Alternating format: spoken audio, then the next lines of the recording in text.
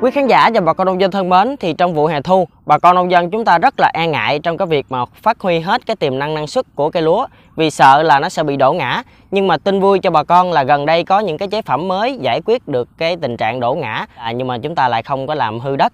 Thì ngay bây giờ Trọng Hiếu cùng với bà con chúng ta sẽ điểm qua những cái à, nghiên cứu mà chúng ta đã thực hiện vừa rồi nha. Đứng ăn nằm là câu nói cửa miệng của nhiều bà con trồng lúa khi canh tác vụ hè thu nhiều bất lợi ở giai đoạn thu hoạch. Mưa bão sẽ dễ làm ruộng lúa chưa đến ngày cắt bị đổ ngã, từ đó năng suất sẽ giảm so với ruộng lúa đứng.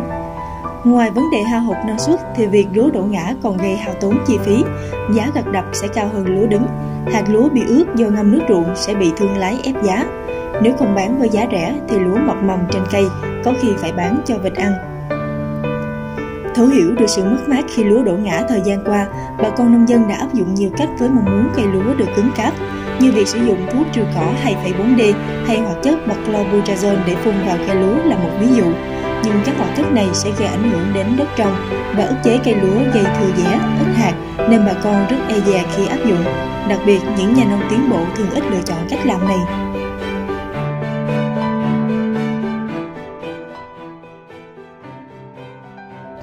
À, theo nông dân ở đây thì thường ờ, làm lịch thời vụ là ngay cái mùa mưa dông bão thời tiết nó rất là xấu cho nên là à, cái à, cái phần đổ ngã sau thu hoạch đó, là nó rất là nhiều. Rồi à, theo cái kinh nghiệm của nông dân đó, thì à, họ cũng khắc phục được à, mấy cái và để để chống đổ ngã. Thứ nhất là họ dùng cái thuốc 2,4D và cái uh, thuốc uh, có gốc uh, bắc lo nhưng mà 2,4D thì bây giờ trên thị trường người ta cấm rồi thì giờ họ chuyển qua họ dùng cái bắt lo nhưng mà anh thấy thì à, nếu mà dùng cái chế phẩm đó là nó có à, nó lùng thì nó có lùng thật. Nhưng mà không biết là cái cái cái cái công dụng của nó đạt hiệu quả đến đâu thì không biết. Nhưng mà trước mắt là thấy cái cây lúa mình nó bị ức chế, nó lùng đi nè. Rồi nó nó hơi vàng lúa, rồi mình tốn thêm cái phân để để mình mình bón vô cho cây lúa nó tốt lại. Và cái thứ ba nữa là nó làm cho cây lúa, đất mình nó bị chai đất. Những giải pháp cũ thường là làm cho cây lúa bị sượng cứng bên trên, nhưng ruộng lúa vẫn dễ bị sập do bộ rễ bên dưới bị sượng. Một số nghiên cứu chuyên sâu về giống lúa cũng chỉ ra rằng việc để cho cây lúa trầm thủy sẽ làm lóng lúa vươn dài, mềm hơn nên dễ sập khi gặp mưa bão. Gần đây, giải pháp rải phân trên nền ruộng ẩm được nhiều nhà nông ứng dụng nhằm mục đích giúp cây lúa phát triển tốt, rễ khỏe, nhiều tầng, cây mọc thấp nên rất bền vững trong điều kiện thời tiết bất lợi. Theo tôi thì à, cái à, nếu mà muốn khắc phục cái chuyện cứng cây được á là phải đầu tiên phải sử dụng cái ờ, ờ, cái, bộ đế phải xử lý cái bộ đế cho nó ờ, nó chắc chắn. Như là rễ nó ra nhiều nè rồi mình phải là sử dụng những cái chế phẩm tiên tiến sau này. Thế hệ sau này. Thứ thứ ba nữa là phải cho nó khô ướt khô xen kẽ để khắc phục được cái cái đổ ngã về sau à, tôi thấy à, cái này là rõ ràng luôn là cái xử lý phân mà trên nền ẩm á là nó rất là hay. Thứ nhất á, là cái cây mình nó cây lúa mình nó nó thấp nó thấp hơn so với à, sử dụng cái cách truyền thống trước kia. Và cái thứ hai nữa là rễ nó ra rất là nhiều. Chồi nó cũng là mập đều luôn. Nó rất là đẹp cây lúa. À, tôi á, thì à, thích những cái công nghệ và cái chế phẩm mới thế hệ mới ngay bây giờ thì giờ cũng vừa rồi á tôi cũng có sử dụng một cái chế phẩm.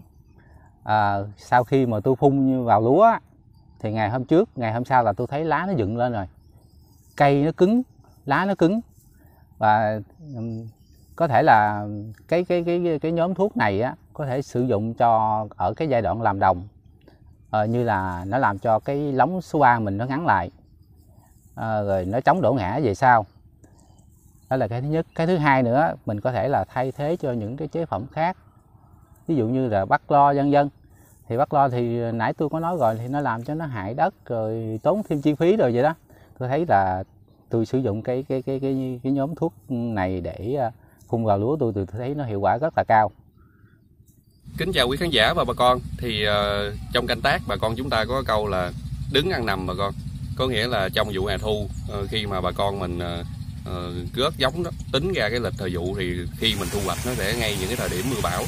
Do đó mà bà con mình sẽ tính là bây giờ mình mà phát huy hết cái tiềm năng năng suất của cái cây lúa tới đó rồi lỡ mưa gió quá nó nặng quá nó sập thì nó sẽ thua cái ruộng lúa đứng mà mình ờ, cho nó ờ, phát triển vừa vừa đó bà con. Và thực tế thì cái hiện tượng mà đổ, đổ ngã đó bà con nó là mối quan tâm chính đáng. Và mình sẽ phân tích những cái nguyên nhân làm cho cái ruộng lúa mình đổ ngã, từ đó mình sẽ có những giải pháp thôi bà con. Và bà con mình biết, thường thì ờ, chúng ta sẽ ờ, dễ hiểu là đổ ngã nó sẽ đi từ bên dưới. Có nghĩa là nếu mà bà con mình không tạo được cái bộ rễ khỏe cho cây lúa, thì sau này nó sẽ bị đổ ngã với tỷ lệ cao. Và con mình biết những cái nguyên nhân mà ảnh hưởng đến bộ rễ trong vụ hè thu thì thứ nhất là cái ngộ độc ngộ độc hữu cơ, ngộ độc phèn. Ờ, thì nó làm cho bộ rễ chúng ta bị bó lại, hư hại không phát triển được. Cũng như là đối tượng nữa là con tiếng trùng tiếng trùng nó sẽ làm cho bộ rễ của mình nó bị ờ, hình thành những cái bú. Do đó không thể nào mà nó có được ờ, những cái ờ, ừ, cơ hội mà nó nắm chặt vào đất. Do đó chúng ta sẽ dễ thấy những ruộng nào bị ngộ độc phèn, ngộ độc hữu cơ bị tiếng trùng sẽ dễ sập nhất. Và một nguyên nhân nữa mà bà con chúng ta thường chưa có được nghe cái thông tin này là trong cấu tạo cây lúa đó là bà con trên ờ, cái thân nó sẽ có những cái ờ, kêu là cái lóng. Ở giai đoạn mà khoảng từ 10 cho đến 30 ngày đó thì cứ mỗi lá cây lúa nó sẽ có một lóng. Và do cái việc ờ, tăng trưởng liên tục cho nên bà con mình thấy những cái lóng nó sẽ nằm khích khích khích, khích lại nhau bà con mình không có thấy nó phân lóng rõ rệt. Nhưng mà tới giai đoạn làm đồng trở về sau thì những cái lóng nó sẽ nhìn thấy rõ bà con. Và bà con mình thường nói là cái lóng số 3 trở về sau đó là từ cái lóng mà nó mang cái tim đèn đó bà con. Cây lúa nào mà cái lóng số 3 này nó dương quá dài thì sau này nó sẽ dễ bị sập do cái điều kiện gió bão. Do đó mà giải pháp của chúng ta bên cạnh cái khâu chọn giống bên cạnh cái giải pháp mà chúng ta rễ văn trình ẩm để có bộ rễ khỏe mạnh thì làm sao chúng ta phải hạn chế được chiều cao của cái lóng số 3 này? Và giải pháp trong chương trình ngày hôm nay Hoàng Vũ sẽ chuyển tải đến bà con. Đó là cái uh, hai chế phẩm thứ nhất là cái trụ thép và thứ hai là cái bon Sài Gòn Quý khán giả và bà con nông dân thân mến thì vừa rồi chúng ta đã lắng nghe những kinh nghiệm của nhà nông cũng như là những chia sẻ của kỹ sư Lê Tròn Hàng Vũ thì bây giờ Trọng Hiếu xin mời bà con chúng ta hãy cùng Trọng Hiếu chúng ta trải nghiệm thực tế xem là cái giải pháp này nó như thế nào nha. Muốn cho cây lúa cứng cáp ở giai đoạn sau thì bà con cần tác động ngay ở thời điểm phân đợt 2 sau khi dặm và cử phân nuôi chồi thời điểm 28 đến 30 ngày. Trụ thép và bon Saigon là những chế phẩm thế hệ mới chuyên dùng để giúp cho cây lúa hạn chế việc đổ ngã, với những tác động trực tiếp vào các vị trí quyết định thế vững của cây lúa. Bên dưới, trụ thép và bon Saigon giúp cây đâm rễ cực mạnh để níu giữ cây lúa bám chặt vào mặt đất. Bên trên, trụ thép và bon Saigon sẽ tác động vào lóng lúa mang tim đèn, giúp lúa ngắn lóng số 3, từ đó hạn chế tác động của gió bão nên không bị sập.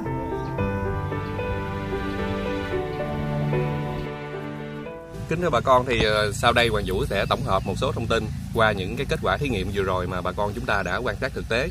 Thì trong giải pháp này, bà con chúng ta sẽ thấy rõ nhất là cái khả năng ra rễ khi mà chúng ta áp dụng trụ thép và bon gòn ở những cái lần phân ờ, đợt 2 cũng như là cái cử nuôi chồi vào giai đoạn khoảng 28 đến 30 ngày.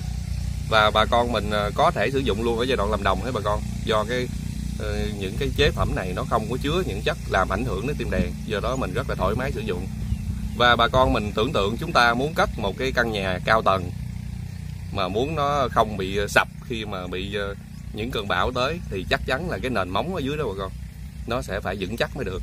Và trong giải pháp bon Saigon và trụ thép thì nó tuy là những chế phẩm ờ, làm cho cây lúa mình cứng, nhưng mà nó lại có cơ chế ra rễ. Do đó bà con mình sẽ được yếu tố thứ nhất là cái nền của chúng ta đã chắc chắn sẵn rồi và cái yếu tố thứ hai hồi nãy là chỗ mà chồng hiếu và anh sinh đã mổ xẻ cái lúa ra thì bà con mình thấy cái lóng số 3 của nó sẽ ngắn lợi do đó mà ở phía dưới đã có bộ rễ khỏe, ở phía trên thêm cái ờ, được cái ngắn lóng ờ, số 3 nữa. Do đó mà những cái cây lúa này thì trong điều kiện thời tiết mưa bão sắp tới, nó cũng sẽ ừ, rất là an toàn để bà con chúng ta yên tâm về cái hiện tượng đổ ngã bà con ha.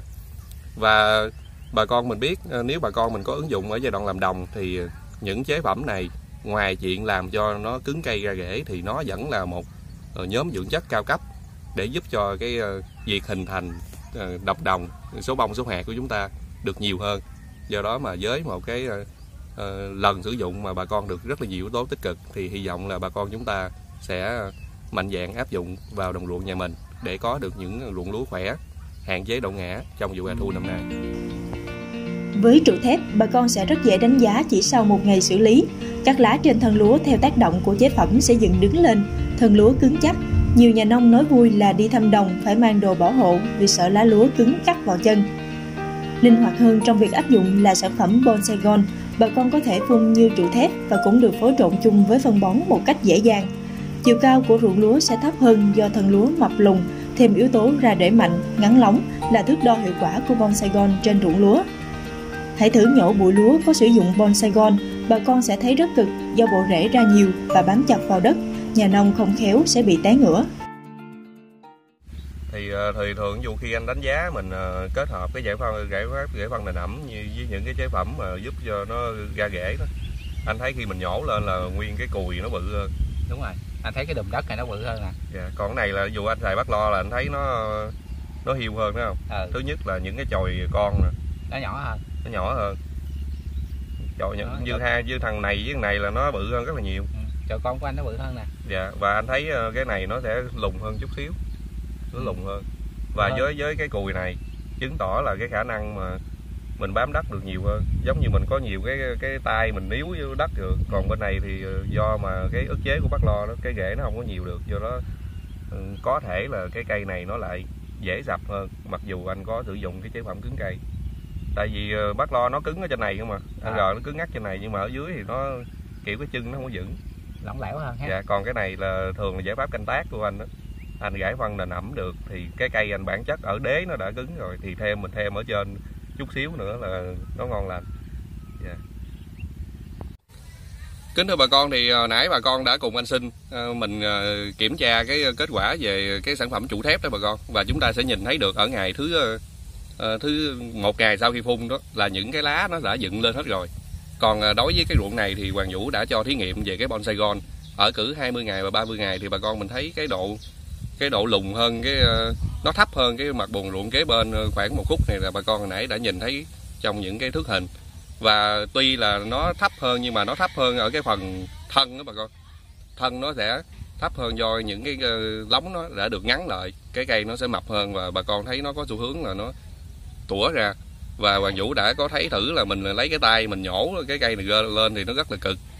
Do nó rễ nhiều bà con nó bám trụ dưới nhiều cho nên mỗi lần mình mình nhổ lên mà không khéo là mình bật ngửa luôn các bà con ha. Thì ờ, đó là những cái thước hình mà bà con chúng ta có thể cảm nhận được ờ, bằng mắt khi chúng ta ứng dụng những cái chế phẩm giúp cho cứng cây ở thế hệ mới. Thì ờ, bên cạnh yếu tố giúp cho cứng cây thì rễ nó cũng ra được nhiều hơn. Và Ờ, ở phần tới đây thì Hoàng Vũ sẽ có một số cái tổng hợp lại trong ờ, tất cả các ờ, hình ảnh thí nghiệm mà ngày hôm nay chúng ta đã được quan sát. Một đặc điểm được bà con yêu thích ở giải pháp trụ thép và Bon gòn đó là những chế phẩm này không gây ảnh hưởng xấu đến đất trồng cũng như an toàn đối với bông lúa. Từ đó bà con mạnh dạn ứng dụng vào giai đoạn đồng trổ để bổ sung thêm vi chất, giúp lúa dài bông, kích giá, nhiều hạt. Giải pháp mới trụ thép Bon gòn với hiệu ứng cứng cây không gây hại đất là hướng canh tác bền vững trong bối cảnh biến đổi khí hậu đang diễn ra hiện nay. Quý khán giả và bà con nông dân thân mến, thì có được những giải pháp cứng cây nhưng mà không làm hư hại đất là mục tiêu của ban biên tập chúng tôi và hy vọng là qua những cái à, biểu hiện tốt đẹp vừa rồi chúng ta có thể thấy được thì bà con nông dân chúng ta sẽ mạnh dạn áp dụng cái giải pháp này vào cho ruộng lúa của mình để có được một ruộng lúa là năng suất cao, hạn chế đổ ngã và có được những cái bộ rễ thật là khỏe. Và bây giờ thì Trọng Hiếu xin chào bà con và hẹn gặp lại.